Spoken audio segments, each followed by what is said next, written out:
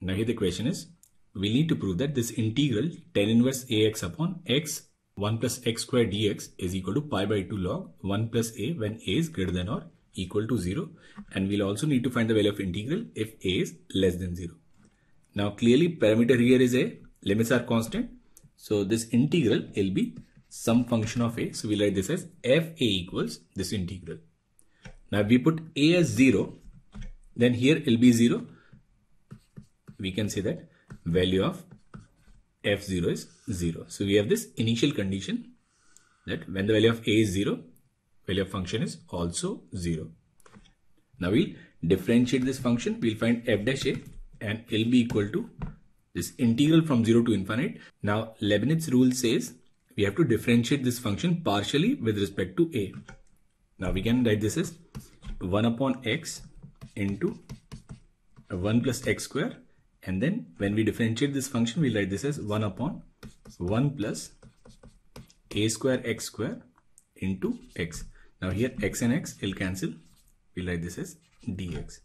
So this f dash a, it will be this integral from 0 to infinite dx upon 1 plus x square into 1 plus a square x square. Now we can split this integral using partial fractions. So we can write this as f dash a equals this integral from 0 to infinite a upon 1 plus x square plus b upon 1 plus a square x square into dx. Now we have to find the value of a and b. Now for a, we'll put x square as minus 1. Then we'll get this as 1 minus a square. So value of a simply will be 1 upon 1 minus a square. And for b, we'll put x square as minus 1 upon a square. So if we put minus 1 upon a square here, we'll get b as a square upon a square minus 1. So we can add this function f dash a as this integral 1 upon 1 minus a square from 0 to infinite dx upon 1 plus x square and then minus a square upon 1 minus a square 0 to infinite dx upon 1 plus a square x square.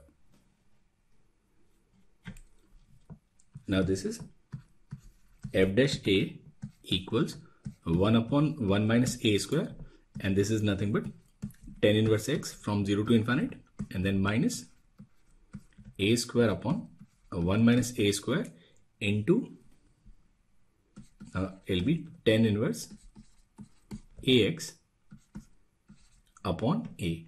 Now here a and a will cancel. Now this again is from 0 to infinite. So we write this as f dash a equals now here tan inverse infinite is pi by 2 and tan inverse 0 is 0 so it will be pi by 2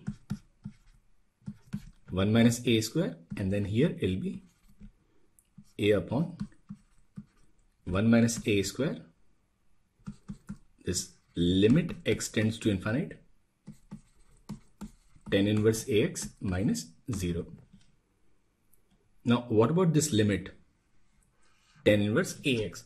Now this limit, it depends on a. If a is positive, then it'll be tan inverse plus infinite, which is pi by 2. And if a is negative, then it'll be minus pi by 2. So we have to consider two cases. Case 1,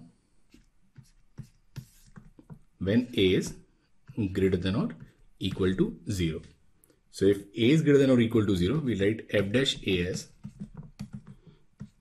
pi upon 2 into 1 minus a square minus a 1 minus a square into pi by 2.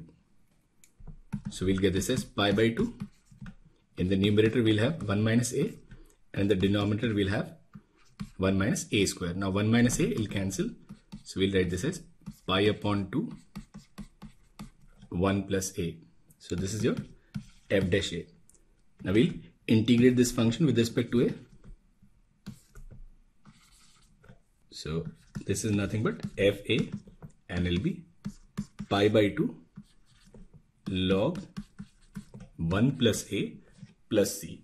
Now initial condition is when the value of a is 0, value of this function is also 0. So this is 0. Now we'll put a as 0, log 1 is 0 plus c. That means value of c is 0.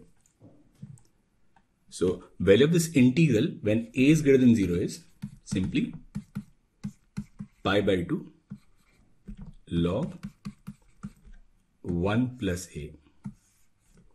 And this is what we need to prove in the first part. Pi by 2 log 1 plus a when a is greater than or equal to 0. Now we'll come to the second part when a is less than 0. Now if a is less than 0, in this case it will be tan inverse minus infinite which is minus pi by 2. So we can write f dash a as pi by 2 1 minus a square and then minus a upon 1 minus a square into minus pi by 2. Now we can write this as f dash a equals 2 into 1 minus a square and the numerator will be pi and 1 plus a. Now 1 plus a will cancel, we'll get this as pi upon 2 1 minus a. Now again we'll integrate this function with respect to a. So we'll get this as f a and it'll be equal to pi by 2 log 1 minus a and then plus c. Now again when a is 0 fx is 0 so it will be 0 0 plus c. So value of c here is 0. In that case we'll get the value of this integral as f a equals pi by 2 log 1 minus a. So value of this integral is pi by 2 log 1 plus a if a is greater than or equal to 0 and it will be pi by 2 log 1 minus a when a is less than 0. And this is how we prove such questions.